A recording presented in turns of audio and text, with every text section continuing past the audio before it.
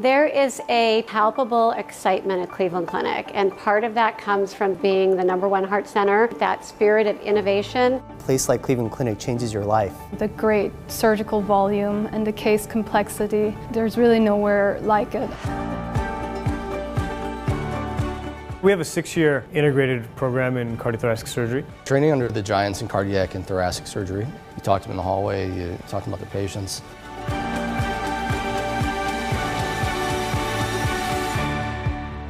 Their goal is to get you involved, whether it's in the OR with research. They want you to find your voice and to have a presence here.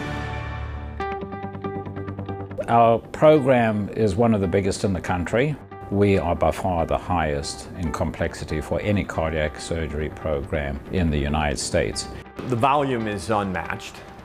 But even more impressive, the quality is unmatched. And so I say all the time that uncommon things happen commonly at Cleveland Clinic, which is a really great learning environment. You see such complex problems, which are really tough to learn from a textbook, and it's something that you really need to see and manage throughout your residency to know how to do that well. They're going to learn to do the simple operations pretty early, but at the end of their training, they will be seeing the most complex operations. You have no fear as a resident by the time you finish here. You'll know how to handle everything.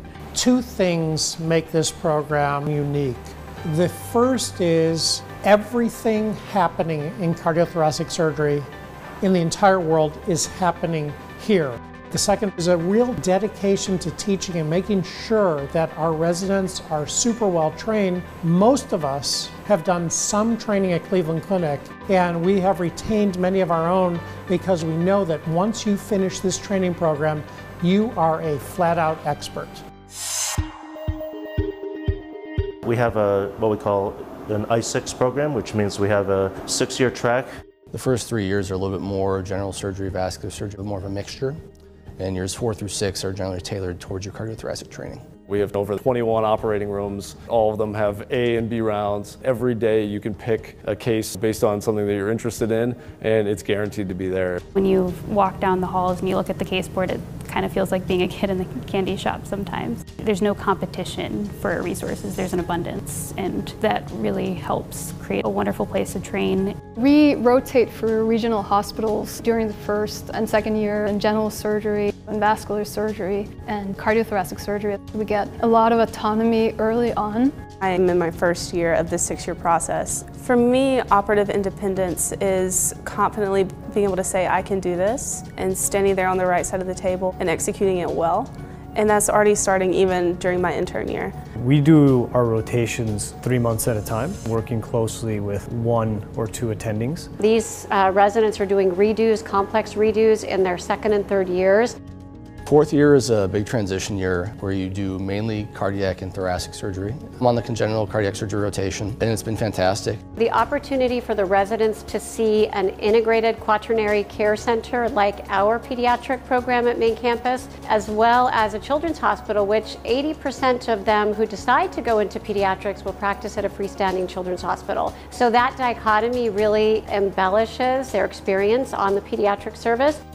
You get increasing operative independence over the course of the six years. And by the time you're a sixth year, you're chief year, essentially your role is to really specialize in what you want to do in the future. You can adjust how you want that final year to look so that you can get really super specialty training in areas like aortic surgery which makes you a much more valuable candidate for jobs in the future, whether you're looking to do academic surgery or be part of a big group. So you're truly, at the end of the six years, are able to lead the case and dictate how it's going rather than be just an assistant.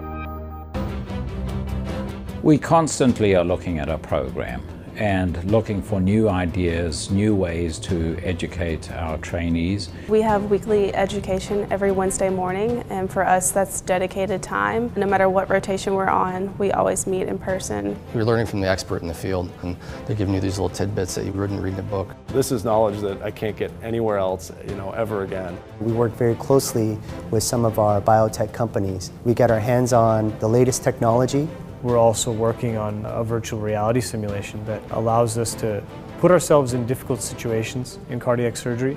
Everybody works on research projects and most of our residents have a number of major publications and presentations. Every faculty staff has different projects that we can get involved in. There are opportunities to do basic science projects. We have a PhD program offered to us. The resources here are just so incredible and deep and vast that I knew that I was going to be able to become the surgeon that I wanted to be.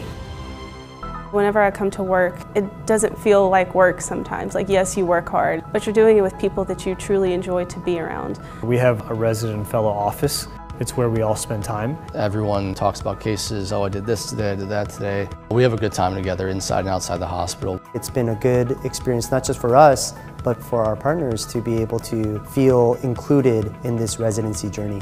When you live here in Cleveland, you really feel that you can do the most with your free time because it's accessible. We have everything from great restaurants, metro parks, but also it's very easy to meet new people. We've really quickly established a network of friends here. We've really found our home here in Cleveland. I count myself very lucky to work with some of the world leaders in cardiac surgery. I won't lie, when I first thought about it before coming here, it was a very intimidating prospect. But when you actually get into the OR with them, their only concern is to train you and to make you good. Our residents, we know from the beginning, they're highly selected individuals, they're highly intelligent, they're very accomplished. So they walk in the door and we have very high hopes for them.